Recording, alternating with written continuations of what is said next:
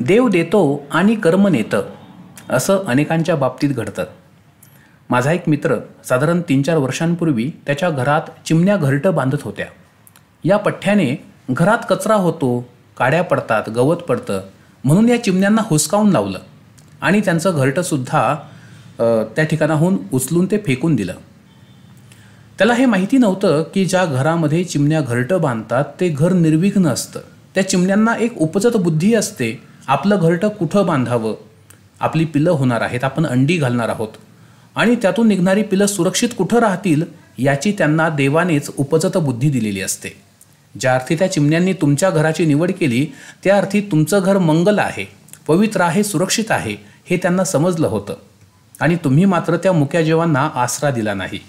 लक्षात ठेवा जर तुमच्याही घरामध्ये चिमण्या घरटं बांधत असतील तर त्यांना ते घरटं बांधू द्या. अशा घरामध्ये कमीत कमी पाच वर्ष मांगल्य आणि शुभता नांदते. सर्व गोष्टी चांगल्या घडतात.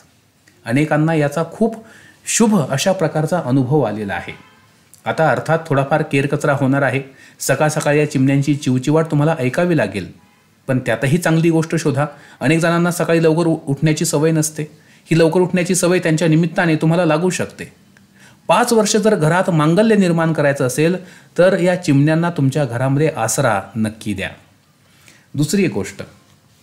अनेकदा शर्ट किंवा पॅन्ट असेल तर ती काढताना त्यातून काही नाणी खाली पडतात चुकून पडतात. तर हा सुद्धा एक खूप शुभ शकून आहे. खूप चांगला शकून आहे. याचा अर्थ असा होतो की लक्ष्मी तुमच्याकडे येणार आहे. लक्ष्मीच्या आगमनाची.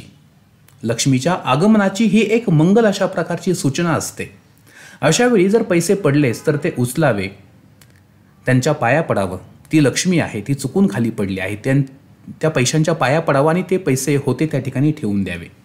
लवकरच तुम्हाला खूप मोठी रक्कम मिळते.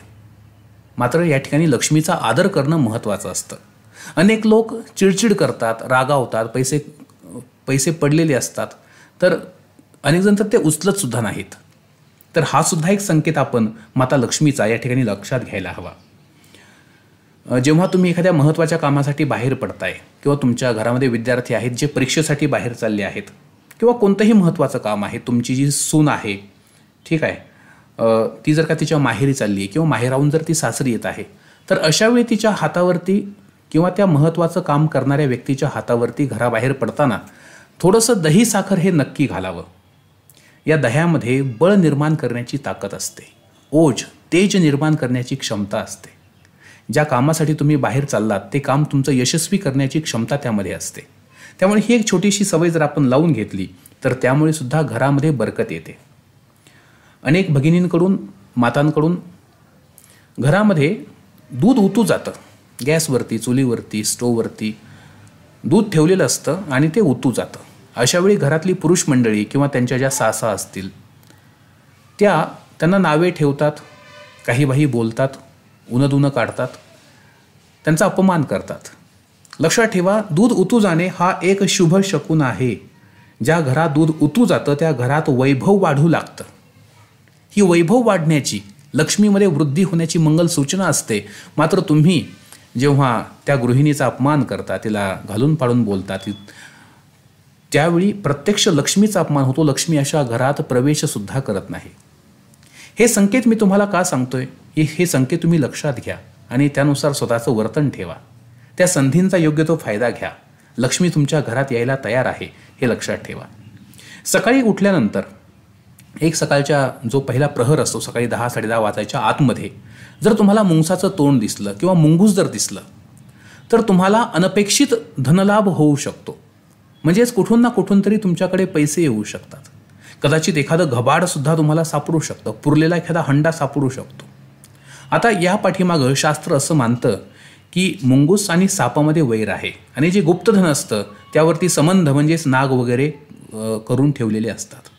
अशावेळी जर तुम्हाला गुप्तधन सापडलंच तर त्यावर ठेवलेले संबंध किंवा नाग साप हे तुम्हाला त्रास देत नाहीत. आणि तुम्हाला ते जे द्रव्य सापडलेलं आहे जे धन सापडले त्याचा उपभोग घेता येतो. मुंगसाप्रमाणेच सकाळ सकाळ खंड्या पक्षाचं दर्शनसुद्धा अत्यंत दुर्मिळ आहे शुभ आहे मंगल आहे.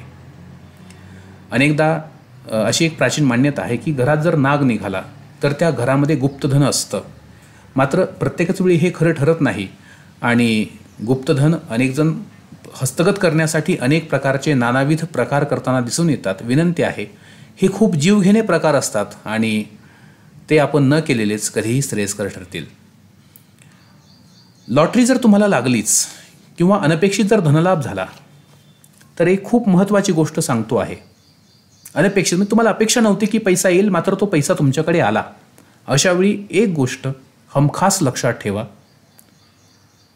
लॉटरीचं तिकीट लागल्याबरोबर किंवा एखादी मोठी शुभ सूचना मिळाल्याबरोबर तीन तास त्या गोष्टीचा बभरा करू नका. कुणालाही ती गोष्ट सांगू नका.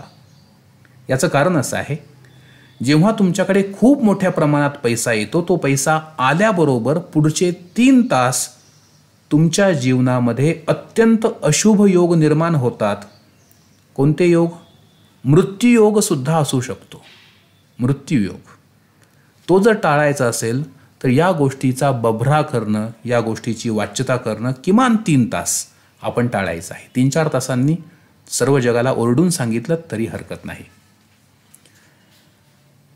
घरामध्ये कधी जर तुम्हाला उंदीर वगैरे मरून पडलेला दिसला तर गृहिणी घाबरतात घरातल्या स्त्रिया महिला भगिनी घाबरतात.